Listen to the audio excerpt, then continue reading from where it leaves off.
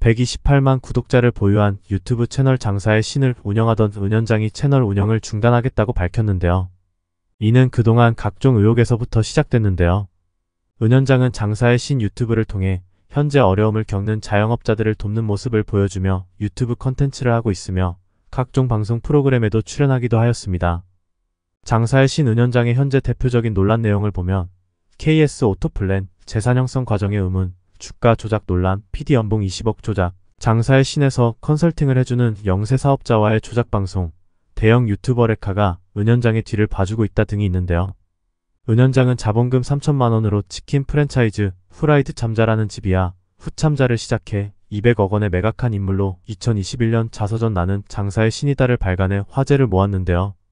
먼저 은현장이 밝힌 후참자의 매각 금액과 실제 매각 금액의 차이가 있다는 주장과 지난해 주가 조작 및 배임 혐의로 구속된 원영식 회장의 초록뱀 미디어 계열사 중 은현장이 매각한 브랜드가 속해 있어 주가 조작에 연루한 것이 아니냐는 주장 등이 나와 이슈가 되었습니다. 이에 은현장은 매각 대금을 한 번에 받은 게 아니지만 200억 원을 받은 게 맞다며 계좌 입금 내역을 공개하고 초록뱀 미디어에 관련해서도 관련이 있다면 어떤 처벌도 달게 받겠다고 말했는데요. 그러나 악플이 계속되자 은현장은 유튜브 중단을 결정하며 유튜브 중단으로 피해를 본 것에 대한 부분과 악플러에 대해 고소와 배상을 청구할 계획이다 라고 말하였는데요. 이어 그 사람들이 다시 일어나지 못하도록 감당할 수 없을 수준의 비용으로 하겠다고 말하였습니다. 은현장은 지난 29일 유튜브 그만하겠습니다 라는 제목의 라이브 방송을 진행하며 은현장은 이제 그만하려고 한다. 영상을 3개 찍어둔 게 있다. 그분들도 많은 기대를 했을 거고 잔소리도 많이 했다. 그 영상이 마무리되는 시기는 2월 18일까지 매주 올라가면 끝날 거다. 그때까지만 지켜봐주면 될 것 같다고 유튜브를 정리하겠다고 말했습니다. 그러면서 내가 죄를 지은 게 있어서 유튜브를 접는 게 아니다라며 갑작스레 결정한 거다. 내가 아무리 증명하고 해명을 해도 안 된다. 계속 어설프게 해명하고 증명했다고 하는데 저는 그게 다 했다고 생각한다. 그냥 악플러들은 내가 싫은 거다. 그냥 분탕질이 좋은 거지 않냐. 뜻대로 해주겠다. 내 멘탈이 이제 안 되겠더라며 유튜브를 그만두는 이유가 악플러에 있다고 말했습니다. 또 내가 유튜브로 대체 얼마나 돈을 벌고 뭘 한다는지 모르겠는데 그냥 조용히 사업하겠다. 사업하면 훨씬 더 많은 돈을 벌 수 있고 내가 하고 싶은 걸 하면서 살겠다고 덧붙였습니다. 이어 내가 뱉은 말이 돈으로 따지면 광고부터 시작해 어마어마하게 크다. 위약금을 물던 하겠다. 아마 생각하는 것 이상의 금액일 거다라며 지금은 내가 명확하게 피해본 걸 입증해야 하는 상황이다. 모든 게 해결되고 법적 소송이 끝나면 그때 제가 떳떳하다면 다시 돌아오도록 하겠다고 이야기했습니다. 한편 장사의 신 은현장과의 친분설로 인해 유튜버 카라큘라가 재차 입장을 밝혔는데요. 이는 장사의 신 은현장과 카라큘라의 친분설은 SNS의 사진에서부터 시작된 것으로 보여집니다. 또한 유튜버 카라큘라는 사회에서 벌어지는 각종 사건 사고 범죄 등을 집중적으로 다루는 탐정 전문 채널인데 왜 장사의 신은현장 범죄 혐의와 관련된 콘텐츠를 다루지 않냐는 문제 제기가 쏟아지며 대형 유튜버들이 장사의 신과 연합을 하고 있다고 주장하며 시작됐습니다. 31일 카라큘라는 모 커뮤니티에서 제가 논란이 되고 있는 인물인 장사의 신은현장 대표의 절친이라며 되지도 않는 걸로 저를 저격하더라며 말문을 열었는데요.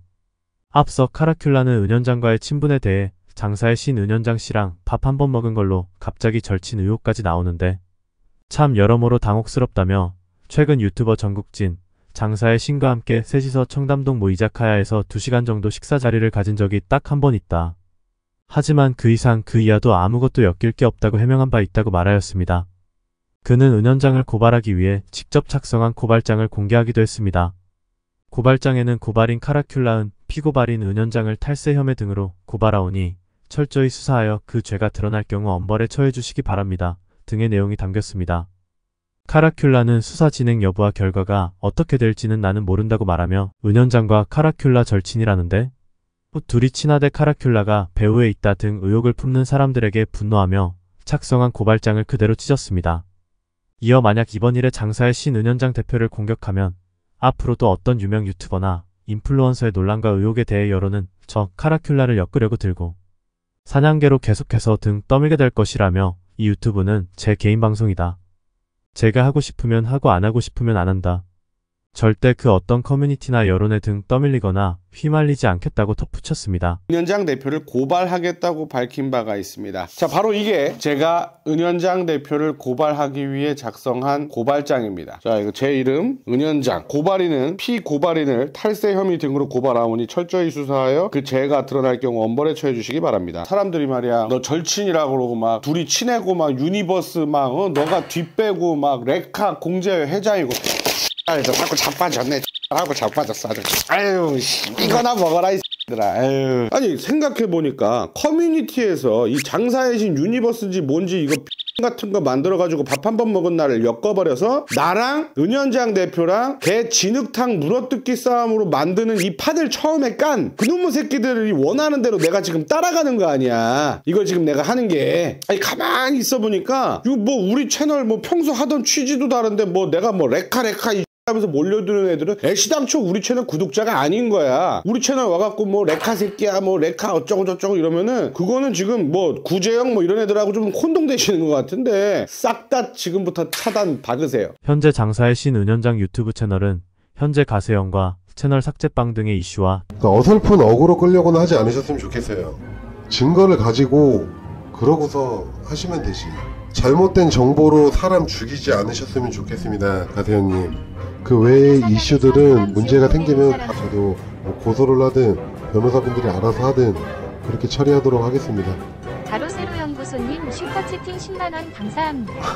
와, 가로세로 연구소 장난 아니네. 증거 가져오면은 채널 삭제할게요. 가세현님도 채널 삭제빵 저랑 한번 하시죠. 제가 지금 뭐 채널 삭제빵 얘기한 건 죄송합니다. 아, 가로세로 연구소님, 그 뭐야. 그리고 잘못된 부분들은, 오버한 부분들은 다시 한번 죄송하다는 얘기 드리도록 하겠습니다.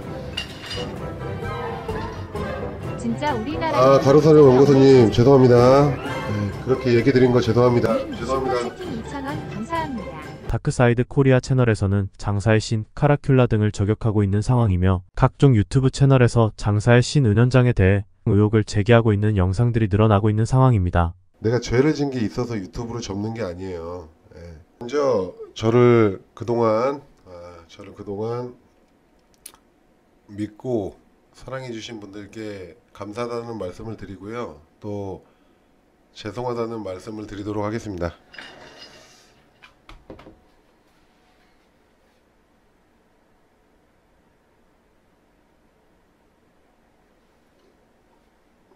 일단 저를 믿어주신 분들이나 그동안 저를 지켜봐주고 응원해주신 분들한테 너무너무 죄송해요. 내가 멘탈이 못 버티는데 내가 죄를 지어서 절대 떠나는 게 아니에요, 형님들. 싹 다 고소할게요, 형님들. 그동안 수고 많으셨습니다.